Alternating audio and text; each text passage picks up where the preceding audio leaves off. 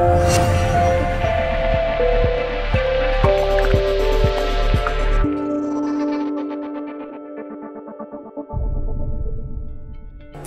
Hi, I'm Craig from SolaX UK. Welcome to this new video tutorial in which we're going to showcase to you the brand new uh, SolaX portal monitoring system which we have introduced for our uh, hybrid inverters, the Generation 2 hybrid inverters, um, to replace the existing SolarMan system. Now SolarMan is still in use on Generation 1 hybrid and also on X3 and X1 inverters and will continue to be uh, used going forward. However, for the battery storage system, particularly the EPS battery storage system, we've developed a new monitoring uh, system which gives the end user more information and more relevant information relating to their batteries and uh, discharge levels and that sort of thing. So that's what we're going to be concerned with in this video.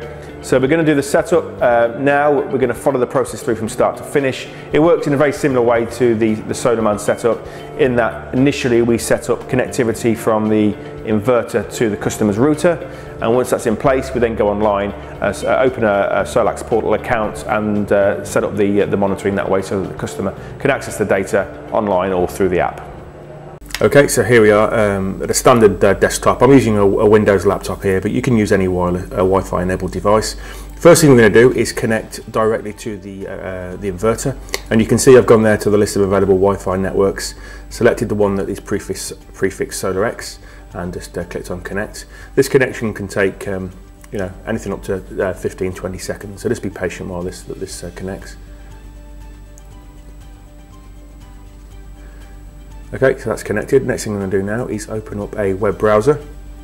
Okay the IP address here is the same. Uh, uh, it's always 11.11.11.1 okay and the username and password they're both admin in lowercase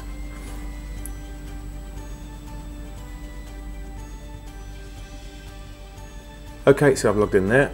Uh, this is the screen that you get come up. Now the thing you're interested in here is the SSID. Now here it's uh, already got SolaX in there because we've set this up on this computer before. But when you log in for the first time it will be blank. So if you click on the Find AP button, you're finding the local Wi-Fi network of, of the customer, uh, selecting that and then putting in their Wi-Fi password. Uh, click on Save and Reboot and that is it. You've actually uh, set up the connectivity between the uh, customer's inverter and their router. Okay, so you can close that down now. The next stage in the process is simply to go online and set up an account on the SolaX portal.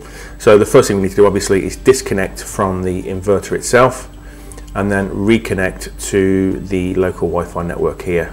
Um, or obviously it will be the customer's Wi-Fi network within their property.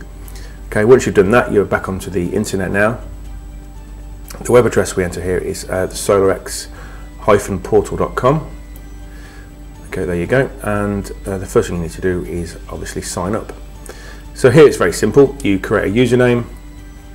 Okay, we're just going to put in some general things here, just to, just to whisk through this, um, uh, and a password that you're going to remember, obviously.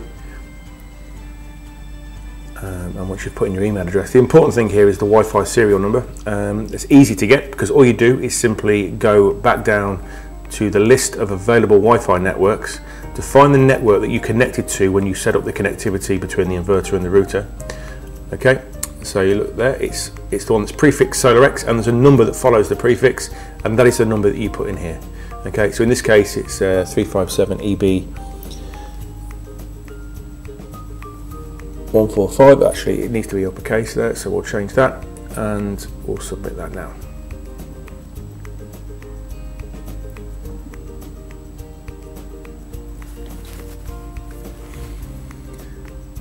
Okay, so that's done. So once you've done that, you can then log into your account, which we're going to do here. Obviously, we've already got an account set up here, so I'm going to log into our account, uh, and uh, you can see um, the uh, generic sort of landing page as you log in.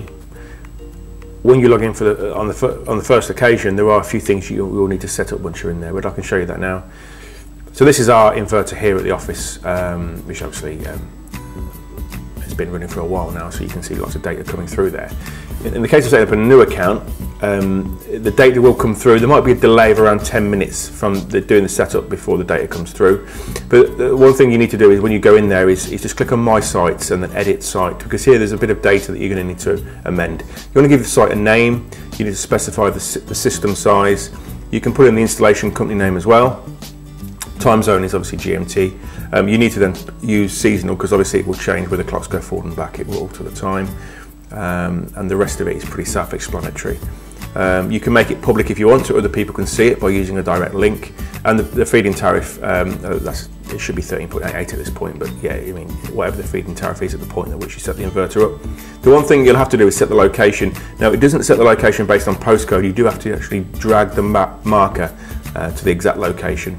So uh, that's relatively straightforward. You can zoom in and out and, and drag the marker to the right location. Obviously I've cancelled that because we don't need to save any of those changes. But that's essentially it. Uh, once you've done that, the data should start coming through. You should start to see the graphs and the historical data.